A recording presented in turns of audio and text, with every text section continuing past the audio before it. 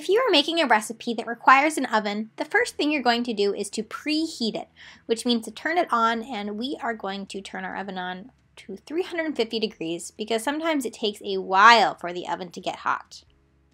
Next, we're going to lay out our ingredients. So we got our yogurt, our flour, our eggs, pumpkin pie spice, vanilla, olive oil, brown sugar, zucchini, baking powder, and baking soda.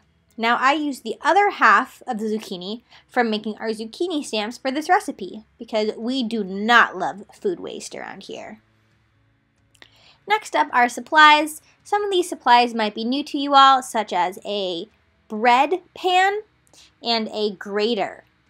So the grater is that thing with all the holes in it, and we are also going to be using a paring knife, a mixing bowl, a mixing spoon, some measuring cups, and measuring spoons cut the stem off of your zucchini and then you are ready to start grating it. But be careful because if you can see what it does to a zucchini, imagine what it can do to your fingers.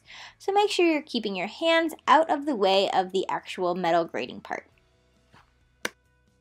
Add your grated zucchini to a bowl with your brown sugar, your olive oil, your yogurt, your vanilla, and your two eggs.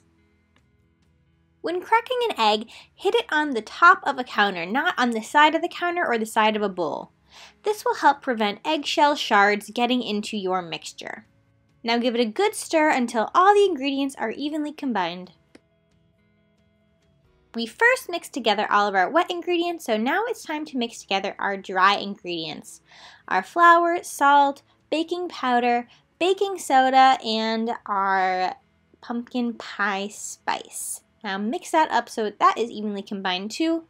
And then we will gently add it to our wet mixture so that it is easily and evenly absorbed. Next is time for my favorite part, chocolate chips.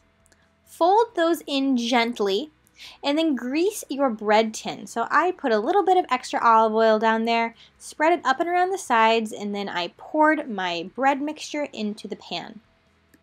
Always, always, always remember your oven mitt. This will protect our wrists, our hands, and our arms from touching the hot oven. I'm to push that in there nice and gently and close the oven. Put my timer on for 45 minutes. And this is some great time to clean up the huge mess I made. Here is the before and after of my hard, hard work. You know, all that cleaning made me pretty hungry, so I am super happy our bread is ready using my oven mitt, and I only have one oven mitt, so I use the dish towel to take it out of the oven, and wow, that looks so good. Make sure to turn off your oven and then put your bread down on a pot holder or a dish towel to cool down.